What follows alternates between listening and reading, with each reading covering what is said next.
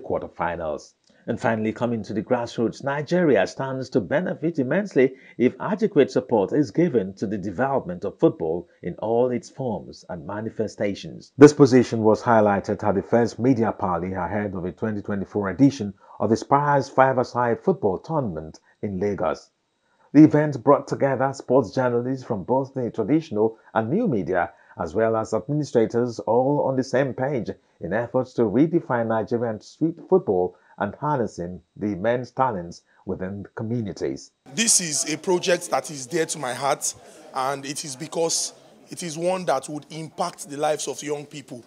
If you look at Nigeria's population demography, there are so many young people. In fact, nearly 70% of Nigeria's population are young people. And when you have these young people who you can channel their energy into something productive. A project like this would give them that opportunity to showcase their talent and let the world see that God has imbued in us great potential.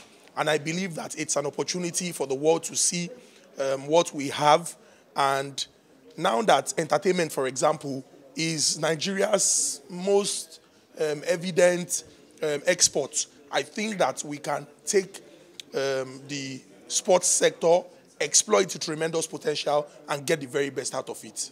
In this era that um, players are scarce, in this era that um, we look for players everywhere in the world, everywhere in Nigeria to look for players to play for professional football. I think this um, five-a-side is actually a good one because um, we can see that there are talents, um, mention names of strikers, mention some midfielders, and I think for sport administrator for clubs in, in Nigeria, even in Lagos, this is an avenue for them to scout and look for more players to come on board to play professional football in Nigeria. Our number one commitment is that the commission is going to be endorsed without any hindrances.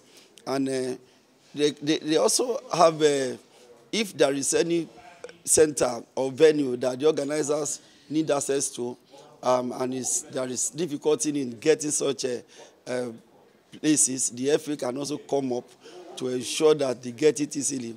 Uh, don't forget that uh, the referees, they are affiliate of the FA.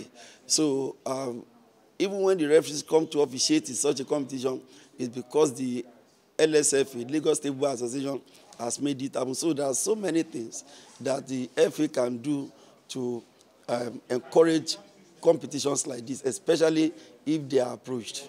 Organizers say the futsal-style Spires five-a-side football tournament is transforming Nigerian street soccer experience into a platform for positivity, empowerment, and opportunity a total system whereby we are not just asking people to come and play for a moment. What we're trying to do is to ensure that they play the tournament, they have the win money, they get the right mentorship, and we also create local leagues at street level, at division level, at local government level, so that we can begin to crop players and differentiate people who are just passionate from people who are skilled, and at the back of that, create an ecosystem whereby we can begin to trade players, actually, like it's been done all over the world in, in, in developed economies, because we have the human capital, we have the talent, we have the skill, and we have the uh, uh, environment which is conducive for this. So the bit that is actually missing is the administration and planning and also the investment. And that is why we have come onto the table to actually put all this in place to ensure that we can hit the uh, ground running and we're ex expecting people to join us in this bid.